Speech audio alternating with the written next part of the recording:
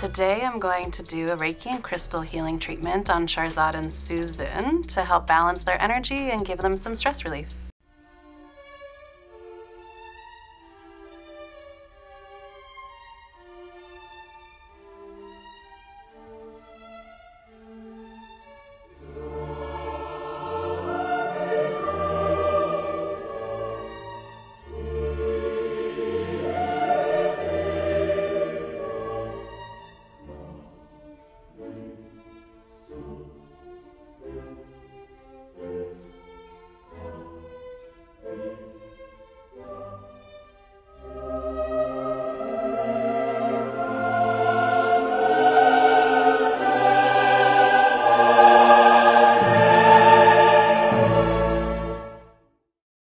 Crystal healing is an alternative medicine practice that has been around since antiquity, with records from Mesopotamia and ancient China. References as far back as 1700 BC state it was used in magic, healing, and protection. For some reason, people who use crystals love talking about how they originated from the ancients and how they knew so many secrets about science and medicine. I find that pretty funny considering the ancients also believed the earth was at the center of the universe and bloodletting cured diseases.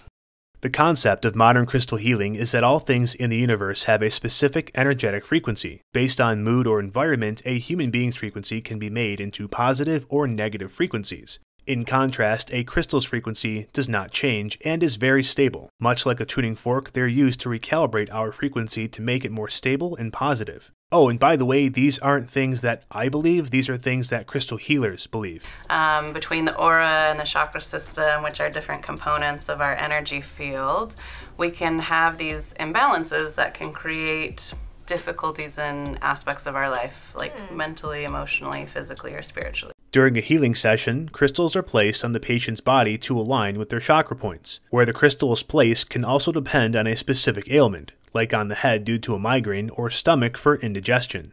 So, what scientific justification do crystal healers have? Well, let's ask crystal healing expert Teal Swan. But there is more to this physical dimension in reality than meets the eye. Our current definition of what is alive is incredibly inaccurate. The current definition of what makes something alive is something that exhibits movement, respiration, sensitivity, growth, reproduction, excretion, and nutrition. Yeah, no, this isn't the correct list of what defines something as living. The correct list is cellular organization, reproduction, metabolism, homeostasis, heredity, response to stimuli, growth, and adaptation. But I'm guessing you're going to disqualify this list because it doesn't represent all living things. We need to start defining alive in terms of consciousness. Nailed it. What constitutes something being alive is, in fact, the ability to be aware, to perceive, and to think. The ability to perceive and think are not what qualifies something as living. A jellyfish can perceive light and sound, but can't think. Nonetheless, it's defined as living because it executes these traits. To say perception and thought constitute living is paradoxic as it's both general and incredibly narrow. Viruses and prions are an example of conscious beings which are very much alive, but which do not exhibit all of the traditional characteristics that we think constitute life. Okay, how are viruses and prions able to perceive and think? With what proof do you have, if any? I'll tell you what they really are, though. Prions are just clusters of proteins, and viruses are nucleic acids held together in a lipid or protein compartment. No brain or neural network, nothing. They only spread infectiously because of their mode of transmission, through food or aerosol particles, not because they're alive. Also, what does any of this have to do with crystals? Minerals, especially crystals, are also alive. Finally, here we go. That is, they are conscious, they are aware, they think and they perceive if you're going to make the bold assertion that crystals are living, you've got to provide some kind of evidence. Even a sliver is fine. We have discovered life forms deep within the ocean that are alive, conscious, and reproductive, whose bodies are made up of 100% silicon. Their bodies do not contain any carbon whatsoever. Wow, that's really interesting. No carbon in their bodies at all. It'd be fascinating to see how its DNA would have no carbon in it, despite carbon literally being an essential element to form deoxyribose. You know, as in deoxyribose nucleic acid or DNA. What I'm going to guess is this woman is lying or completely ignorant of biology. The organisms she's talking about are called diatoms and have carbon distributed throughout its entire body like every other carbon based life form on Earth. For example, with DNA, the DNA helix only exists with a carbon based ribose molecule in it. It's true that silicon is similar to carbon, as carbon has four valent electrons, and so does silicon. However, the properties of the silicon atom are much different from carbon. For example, silicon chemistry requires higher temperatures than carbon to form bonds, and therefore is not conducive to generate life. However, there is silicon in these organisms, but it's hydrated silicon dioxide and is only a component of the diatom cell wall. That's a far cry from 100% silicon. So, where is this going in relation to crystals? Well, she's making the connection that there are organisms made of 100% silicon. If there are living 100% silicon organisms, which there aren't, then that lends a possibility and subsequent proof that crystals, like quartz, which is made of silicon, is living, which it's not. We have discovered life forms deep within the ocean that are alive, conscious, and reproductive, whose bodies are made up of 100% silicon. Silicon is the primary element of quartz crystal, Crystals are living beings. Uh huh.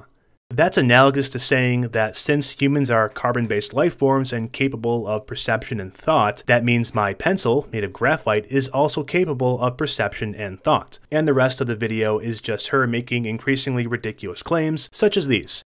So when you introduce fluorite into the equation, the vibration of that ailment, being the arthritis or cancer, must change to match the vibration of the fluorite. When you have a headache, you might take something like aspirin.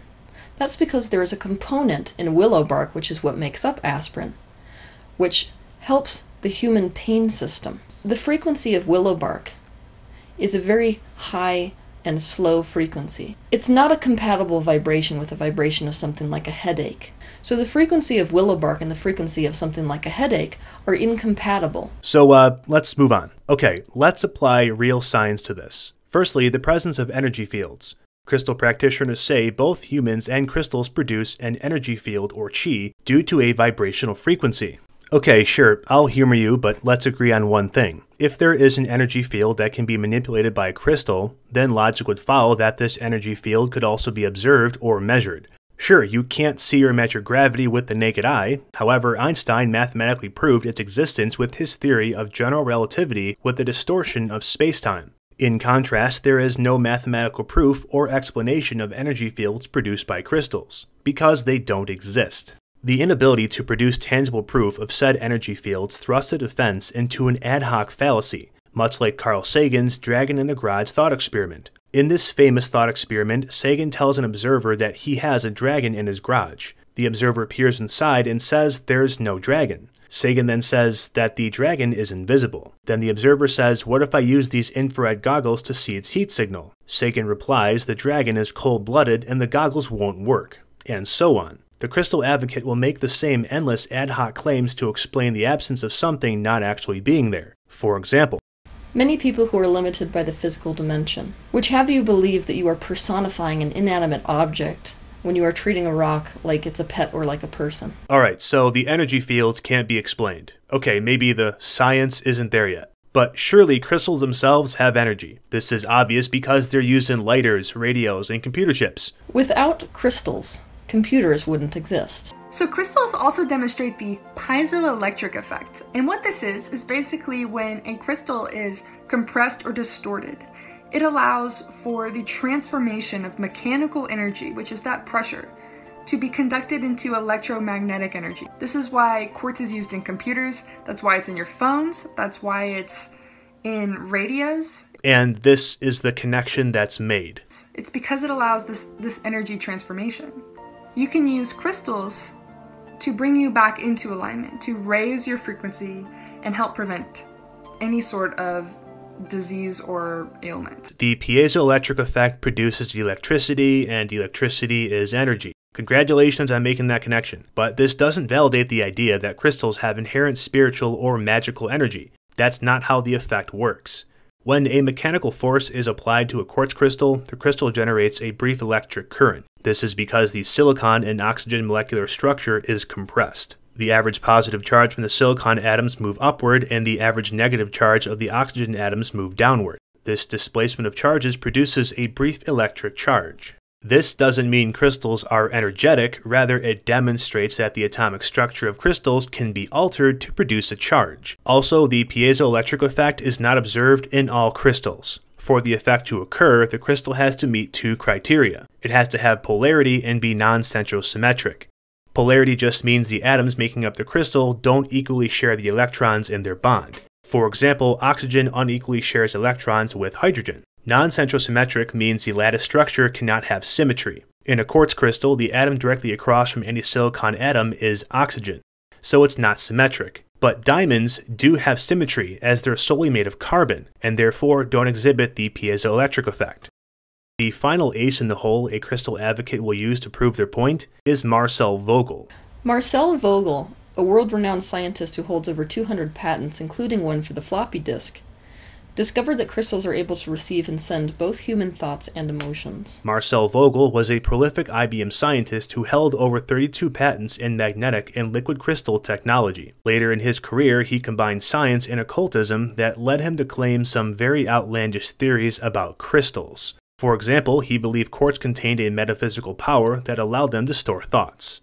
On one occasion, while observing them under a microscope, the crystals formed into whatever Vogel was thinking problem with Marcel Vogel is many of his claims could not be reproduced and had no legitimate scientific basis. Just because a well known scientist makes a claim, it doesn't mean that the claim is true because they're really famous. Believing what Marcel Vogel said about crystals is like saying we should study Newton's work in alchemy because he discovered calculus and the laws of gravity, when in reality, we all know alchemy is complete bullshit.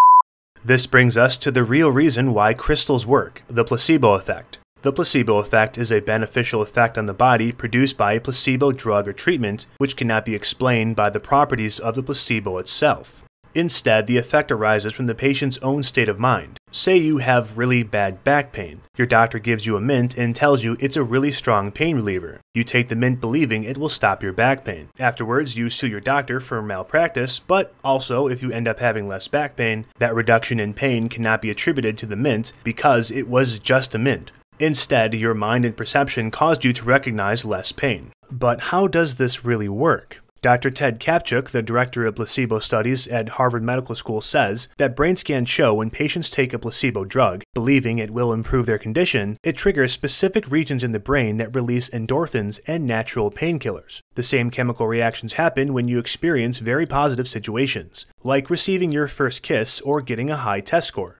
For example, when a patient when a person is treated with the rituals, symbols, placebos, the pills, whether they have content or not, um, when you're in pain, the brain releases endogenous opioids, cannabinoids, or, and or prostaglandins. There's a veritable pharmacy in each and every one of us. The placebo effect is heightened even more when a patient is in a particular environment that reinforces the positive effect, like talking with a healthcare professional or going to a clinic.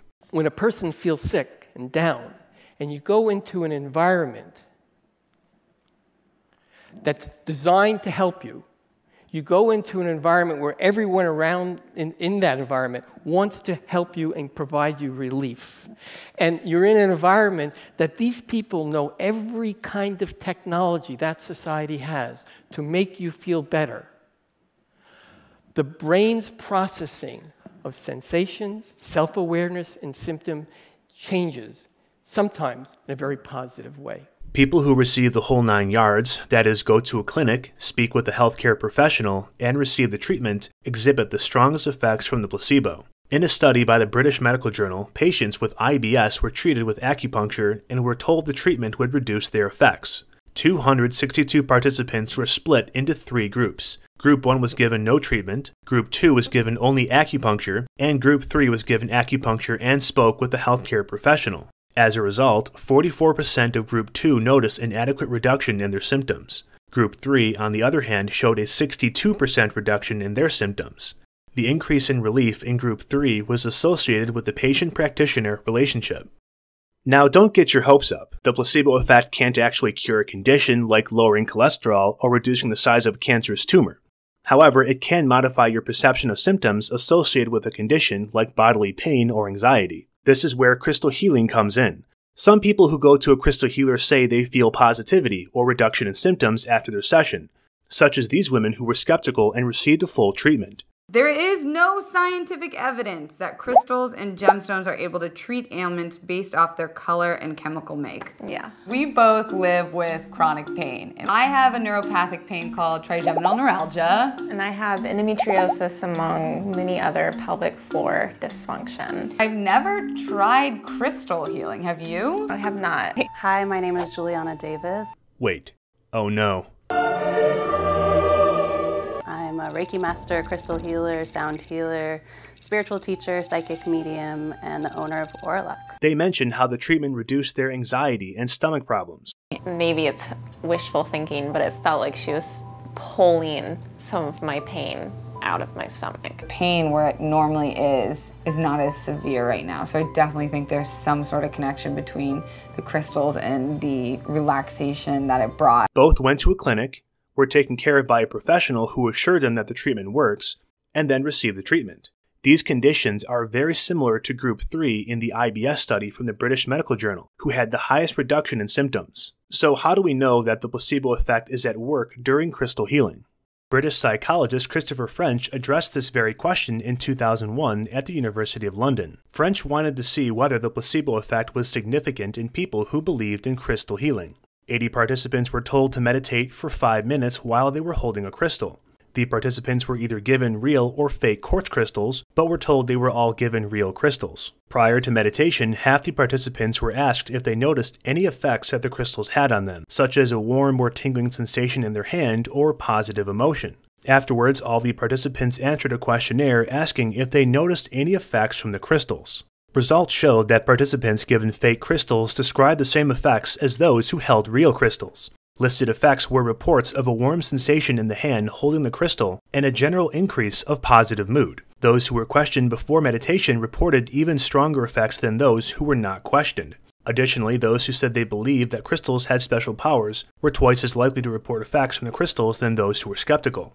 It's no coincidence that the placebo effect had a much stronger impact on those who were previously questioned and held beliefs in crystal healing. It's no surprise because this correlation is something scientists call expectancy. Expectancy is the patient's anticipation of a future response after the administration of a placebo drug or treatment. Expectancy is one of the direct mechanisms that causes the placebo effect. An example would be a patient who is administered pain from a shock and is then told they will be given a topical cream that will reduce the pain sensation. The cream is actually a placebo. However, the verbal cues from the administrator in the clinic setting causes the patient to have a preconceived expectation that the cream will reduce pain.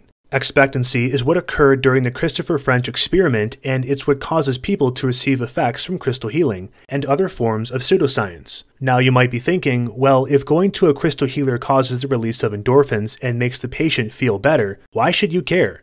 Sure, to each their own. However, if the placebo effect works by endorphin release, you could just work out, meditate, or get extra sleep to get the same effect, instead of paying. Uses gemstones all over your body to aid in the facial process. Goes up to 395. But if crystal healing is a mostly harmless treatment, why should we care if people choose it at all? Addicted to Ignorance is going to talk about some of the harms of crystal healing.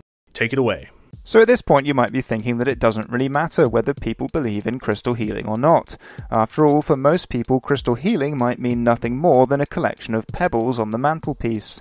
But for some people, this belief goes much further. I came across this case report of a man found dead in his home with a number of healing crystals implanted under his skin by amateur surgery. You'd have to guess it was at least painful, although apparently the crystals were not the cause of his demise.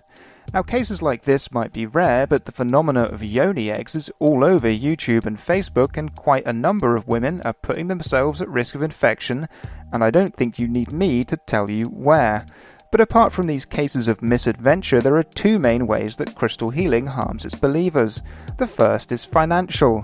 Sure, a chip of quartz isn't going to set you back much, but there are far more expensive crystals on the market, and there are books and courses that will set you back hundreds or even thousands of dollars. And if this is money that people are intending to spend on their health and well being, it's been sadly diverted into something useless. And this brings me to my second point. Crystal healing distracts from real treatments. Yes, there are lots of videos on YouTube and groups on Facebook dedicated to using crystals for treating things like migraines, back pain, infertility, and even cancer. And look, when it comes to something as serious as cancer, any amount of distraction, delay, and confusion can have real world consequences. There have been a number of scientific studies which have found an association between the use of alternative medicines in general with shorter lifespans for cancer patients. And the likely reason for this association is distraction from effective treatments like surgery and missed appointments with real doctors. And the danger of selling ornaments as medical devices has been picked up several times by regulators around the world. Gwyneth Paltrow's Goop was recently fined $145,000 for selling a series of women's health products whose advertised medical claims were not supported by competent and reliable science. The most egregious offenders seem to be Goop's yoni eggs, which the site claimed could balance hormones, regulate menstrual cycles, and increase bladder control. In New Zealand, this crystal shop in Napier was singled out by their Advertising Standards Authority for its unsubstantiated claims that its products provided therapeutic benefits. Crystal Sanctuary said their products had a range of health benefits, including protecting against nightmares and helping people overcome addiction. The claims were found to be unsubstantiated by evidence, and Crystal Sanctuary was forced to remove the adverts. And in my native UK, the local Advertising Standards Authority has also rejected crystal therapy due to a lack of evidence. In 2013, the ASA considered claims on a website which implied that crystals could be used to help heal a number of health conditions, including Alzheimer's, Asperger's, asthma, depression, and heart disease. The advertiser accepted that they did not hold clinical evidence to support the claims being made, and it was subsequently ruled that the advert was misleading. The current advice to those wishing to advertise healing crystals in the UK is something of a stark warning. Because the Advertising Standards Authority and Code of Advertising Practice have yet to see any evidence to support claims that crystal therapy has a healing effect, marketers are advised that they should hold rigorous clinical substantiation before making any efficacy claims about the therapy. Despite all this, it seems that crystal healing has infiltrated conventional cancer care in the UK, this 2010 survey found that crystal healing was used in some hospices, and I find this sad. I'm quite confident that we can offer more to hospice patients than magic rocks. But it's not just the people who use crystals that this industry harms. Crystals sold in shops in the US and elsewhere are often mined in lower income countries. In 2019, The Guardian published an investigation into the working conditions of crystal miners in Madagascar, finding that child labor was rampant, people were being crushed and suffocated in collapsing mines, and the unregulated industry threatened the rainforest. And all of this chaos might be easier to justify if what was being pulled out of the ground at great human and environmental expense actually had medicinal properties. Now at this point in the video you might be getting the impression that we don't like crystals, but that's not true. There's nothing wrong with appreciating the beauty of nature and all is not lost for those excited by the potential use of crystals and geological material more broadly for medical and scientific purposes. Sure, you could buy a lump of obsidian from some cheap website and hope it confers some kind of psychic ability on you, but I think it's much more interesting to know that obsidian blades are still used in surgery today because of their exceptional cutting abilities. Similarly, diamond knives are often used for eye surgery, and research into the use of nanodiamonds for cancer treatment is ongoing. Crystals are routinely grown in molecular biology labs the world over in an effort to understand the structure of biological molecules. In fact, the structure of DNA was only revealed after DNA crystals were grown in the lab. And this is by no means an exhaustive list. Crystals are exciting and they're very useful, but they're just not magical. On the stupid scale, I'm rating Crystal Healing at a 10 out of 10, and on the harmful scale, a 5 out of 10. If you enjoy my series, Questions for Pseudoscience, then check out Addicted to Ignorance. His entire channel is all about debunking pseudoscience. He does an especially great job at calling out fake cancer cures and cancer survivors who promote alternative medicine. If you want to stay up to date on all kinds of pseudoscience and quackery nonsense, I suggest you check out his channel. You'll be happy you did.